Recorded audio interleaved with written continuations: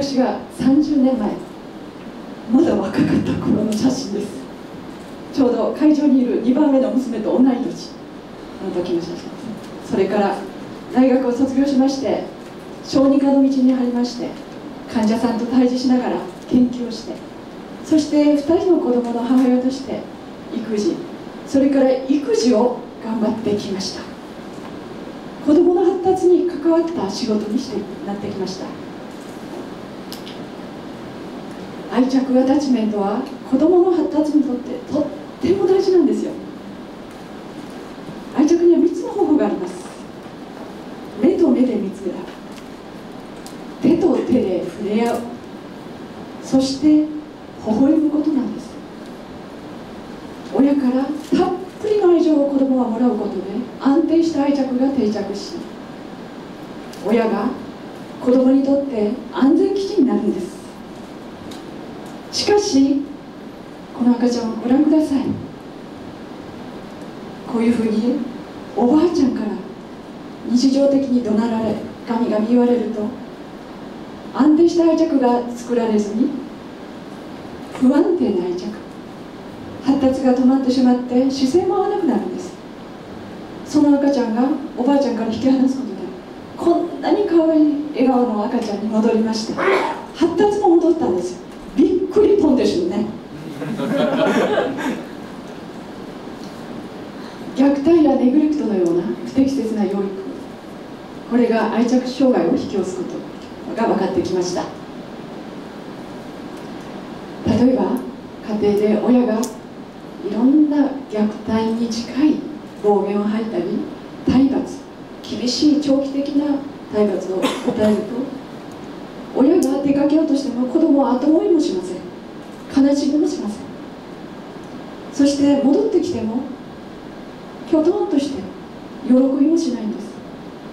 心の発達に問題を抱えさまざまな症状を呈するんです。例えば内向きに症状が出ますと他人に対して無関心用心深いイライラしやすくなっていろんな人間関係に支障をきたしてしまう。また外側に出てしまうと多動落ち着きがない。そして友達とのトラブルが多い。喧嘩が絶えないんです。人見知りもなくなってまた他人とのいい関係ができなくなるんです。愛着障害は実は社会的な養護と言われる養護施設児童自立支援施設のようなところに暮らしておられるお子さん。それから里親さんに里子として養子として引き取られたお子さんの40%にこういった障害が出ることが分かってきたんです。大変なことなんですよ。そして本人のみならず家族と苦しみを与えます。例えば精神の病を発症するんです。うつ病。アルコールやその依存症。PTSD 統合失調症。そしてさまざまな人格障害。こういった精神の病で本人ならにならず家族まで苦しむんです。そして虐待の被害者はその虐待を受けた子ども本人だけではなくて他人や周りもあって私たち社会に苦しみが返ってくるんです。例えばこういうお子さんたちはいじめの加害者になりますそうすると皆さんのお子さんが学校でいじめにあって心の傷を残したりしますそれからこういう虐待の被害者は生活に困窮します。社会的に適応できなかったり。そして精神の病に陥って生活保護費や医療費の負担が増える。結果的に経済の悪化を招くんです。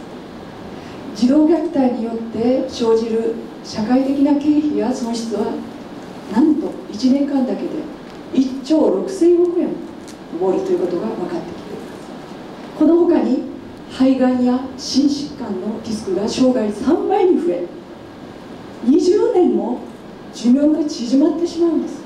もはや個人の問題だけなくて社会全体の問題なんです。これまでの研究で大量のストレスホルモンが脳の発育を遅らせるということが分かってきました。小さい時期に虐待ストレスを受けるとそれがずっと動体という感情の中心を異常に興奮させるんです。それで副腎室に指令がいってストレスホルモンがバンバカ出てしまって脳にダメージを与えるんです。実は私は研修になった時に救急外来に運ばれてきた3歳の男の子のこと今でも忘れることができません。その子は実の両親から虐待を受けて脳内出血で運ばれてきたんです。全身にはタバコの火に押し付けたやけどの跡がありました。3日間。なんとかその子の命を助けようと集中治療室で救命に頑張ったんですが命は助かりませんでした。無償の愛を注ぐべき親がなぜ子供に虐待をしてしまうのかにわかに理解できませんでした。私はこの問題を何とかしようとして研究始めたんですアメリカボストンの留学で分かってきたことです。例えば長期的に激しい体罰を受ける続けると頭の前の方感情の中心であります前頭葉が小さくなります。自分をコントロールできなくなって凶暴になってしかも集中力も落ちるんです。そして暴言虐待を受け続けるとなんと聴覚野が変形して音や聞こえ会話コミュニケーションに障害が来ていますそして親の DV を目撃することで視覚野が小さくなったら相手の表情が分からなくなって対人関係に支障をきたしてしまうんです。こういう脳の変化は外部からのストレスを避けるために極力避けるために情報量を減らすための脳の防衛本能だと考えられています。私たちの研究で分かってきたことは健康な子どもに比べて愛着障害を持つお子さんはお金というご褒美に脳が反応しないことが分かってきたんです。これもびっくりポンです。褒める言葉が響かないんですよ。自己肯定感を上げることができませんよね。実はこの1歳頃に虐待を受けるとこのご褒美への脳活動が最も低下することもいかに早い時期の虐待防止は切実に大事かということを物語っていますよ。虐待ストレスを小さい時期に受けると大人になって親になって我が子に虐待ネグレクトを繰り返すんです。虐待は連鎖するんです。私はこのような仕事をしてますとたくさんのお手紙その中には感謝のメッセージがあるんです。とっても嬉しいです。私の方が感謝です。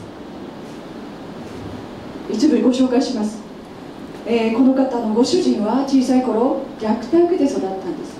世の中このような人々がたくさんいるんじゃないかなと思ってます。先生私も自分の気持ちに整理がつきました。60歳を過ぎてやっと安心して生活できますと書いてありました。た自らも親御さんから虐待を受けて育った30代の女性。このように一般にも広めていただき子供の頃被害に遭って今も苦しんでいるものとして嬉しいですとかでは皆さんここで考えてください。どうやったらこういう人たちを増やさないことができるでしょうかいい日本語がありますねおせっかいですおせっかいは子供を救うんですおせっかいは貝ですよこれは東京都の児童虐待防止啓発のキャラクターです。もう見てください。こんなにおせっかいに活動してる人がたくさんいます。もう本当におせっかいなんだから。でもこれぐらいがちょうどいいんですよ。大事なのはこういう子育て困難。それからそういった子どもたちに無関心でないことが一番です。皆さんができることからアクションを起こして養育者支援の主役になるんですそういうことでこの子どもたちが幸せになることができると思います。子供は実の親からだけでなく社会が育てていくという視点で愛情なる言葉かけを近くの子供たちにしてあげる。それから子育て困難な親に寄り添ってあげる。そういった家庭の情報を書き換につないでいく。そういうことで虐待の連鎖を断ち切ることができるかもしれません。もちろん一人のおせっかいではダメです。みんなでおせっかいをしないといけません。現在どうやったら療育者に上手におせっかいを焼けるのかを分野を超えた仲間と研究しています。学校法律施設警察研究医療そして地域社会と子どもを守るというとても大事な連携した研究に取り組んでいます。虐待を防止する方法だけでなく子育て困難な親に対する対策を仲間と共に提言していきたいと考えています。虐待をしなければ子育て困難でもいいとは言えないからなんです。政府がお金をかける子どもたちにかける場合に学童期やそれ以降にお金をかけるよりももっと早い時期乳児期にお金をかける方がより効果が高いということも分かってきました。起こった起こった罪,、まあ、起こった罪に体罰起こった犯罪に、えー、刑罰を与えるよりも病気になった人を治療するよりももっと養育者支援にお金をかけた方が効果が高いんです。それだけ社会の苦しみが減るんですよ。あなたの笑顔に会えてよかった。子供たちの笑顔を取り戻すために。そういった良い困難な親に対する周囲の支援の必要性を提言したいと思います。そのためにも虐待に無関心にならず皆さんができることからアクションを起こしていただきたい。虐待親が虐待をする。親が子供に虐待する社会のシステムを変えるんです。命がけのゆりかごという本当をご紹介したいと思います。中国の四川省で8年前に大地震が起こりました。捜索隊が瓦礫の中から必死になって探した時に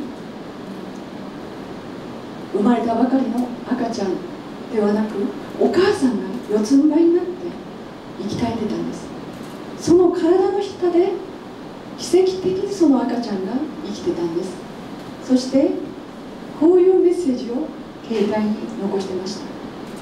もしあなたが生きてくれたら生き延びてくれたら私が相手たことを忘れないでとこのお母さんは幼子に未来を守ったんです。親本来の姿？自分の体を張ってでも我が子の命を守ろうとする行動です。今日はこれまで分かってきた虐待に関する脳科学研究をご紹介しました。児童虐待にどう対応するか。そういった子どもたちのケア支援にどうつなげていくか。そのために自分は何ができるかを希望を持って考えてください。親が子供を虐待する社会のシステムを変える。それは皆さん一人一人の行動にかかってるんです。ご清聴ありがとうございました。